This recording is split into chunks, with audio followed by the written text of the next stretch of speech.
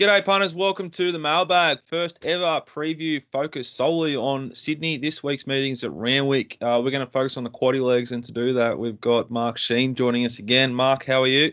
Good, thanks, Jack. Pistol. Dicko. We expect a little bit more energy from you, Pistol, than our viewers might be used to with the Victorian stuff. So this is your area of expertise, the New South Wales stuff, and obviously Mark's bread and butter. So we're going to start with race six, with the, which is the toy show quality 1100 meters, group three for fillies and mares. Uh, up will come Pete speed map and the synthetic hold of the race. Uh, Adelong, ridden by Tim Clark, is our favourite. Uh, Pistol, thoughts here?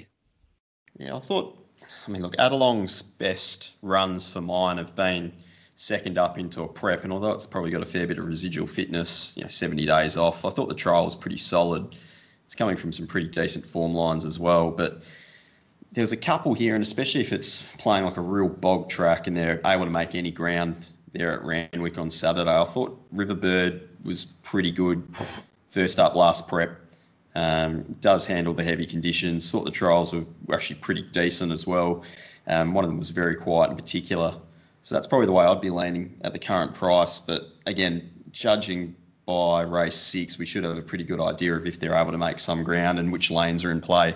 I suspect earlier and for some of the longer races, it may very well be on speed, bit more of a of an advantage, and it's even played a little bit stronger along the rails of late. So that's the way I'll be thinking in those early races. But if they're able to make some ground, I'll just be looking at Riverbird there at a small bet in race six. Mark, have you got uh, an opinion, which I guess would be pretty hard to have one though, on on how this track might play? Yeah, uh, the last time I went back to the uh, normal position after the rail had been out nine, it did look to be an advantage to be on speed. So, um, but we do have a, a, a lot drier track than uh, that on that occasion. That was, uh, I think, a heavy eight or nine, but uh, we're going to be a lot better than that. We've had a clear uh, week for rain and plenty of wind, so it should be on the improve somewhat. So maybe on the worst side of slow to start with, and maybe getting a little bit better. So, but we're guessing a little bit with these tracks because they do uh, change quite regularly. Um, I think Ad- Adelong may be a little bit vulnerable with uh, Witherspoon in the race, putting the speed on. She might have to do a bit of chasing. I do agree that uh, Riverbird has uh, trialled quite well, and I thought Yamazaki trialled quite well. Didn't have a great deal of wet form, but if, if, the track's not too bad, I think with all the speed up front, it might be storming home late. So obviously, just have a look at the pattern of the day. And even though Sweet Deal has finished down the track in a couple of trials, I think she hasn't been knocked about. She's got a lot of weight here, but got a lot of class, and she can sprint well fresh. All right, we had to race seven, 400 meter Winx Stakes. It's now it's a Group One and our favourite is Master of Wine at the moment, or it's joint favourite depending where you're looking. But Master of Wine and very elegant.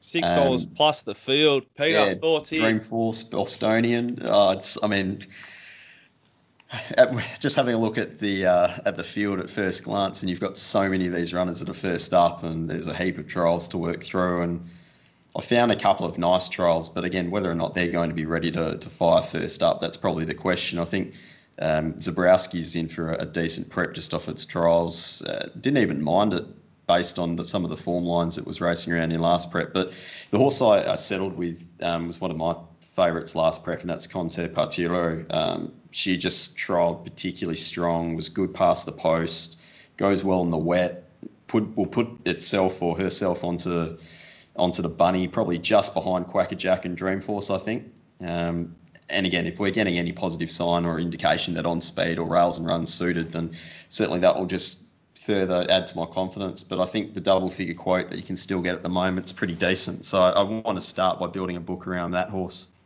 Pretty, uh, pretty big start for the trial reports, Mark. You've got a fair bit of work to do here. Yeah, I think I'll have the matchsticks in the eyes tonight. Um, anyway, yeah, we've got plenty. Uh, I think the yard will be very important with Rob yep. uh, as well. Um, I've got the Bostonian on top. Just uh, thought it might get a good suck run just behind the speed, but very wary of Master of Wine. Try without the blinkers and hit the line very strongly on both occasions. And Conti Patiro was the other one that I had in. So they're the three in the race for me, but the Bostonian on top to start with.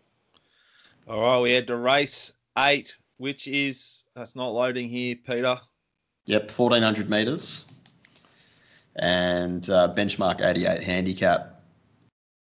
Do you want the Oh. market as well? Canane- I think this is Canane harder than the favourite. Lake Road race. Well, this is the ex Kent horse now Waller who uh, went bust in Queensland. BZ copped it on Twitter relentlessly. Canane. Pistol thoughts here. Oh, I- I think, as, as Mark was just saying, this this does look very very difficult. Uh, I think the form that Poetic Charm has been coming through, it's it's pretty solid, and it's got a bit of a fitness edge on quite a few of these. But I think the price is probably about right. Uh, I've got time for for a few of these, but not first up. And I, I thought Bobby D actually trialled okay, and if they ride it with a bit of intent, it might be able to give a little bit of cheek. But this really doesn't look like too much of a of a betting race for me. Uh, what do you think, Mark? Um, I thought Nudge's trials have been okay, drawn in the car park, but uh, if you can make ground, I thought she was worth a spec at a bit of odds. Uh, she's been pretty hard held in both trials and finished in front of Canane on both occasions, or I thought trial better than Canane at, at the very least. So um, does have to overcome that wide draw. Poetic Charmer does have the advantage of the race fitness, and Minted going up for the uh, 1400 metres for the first time. He's a little bit tardy at the start, but uh, I think with that race fitness and a good draw on his side, he's probably in the mix as well. But uh, if they can make ground, I might have something on Nudge there. What do you think of the trials of Canaan?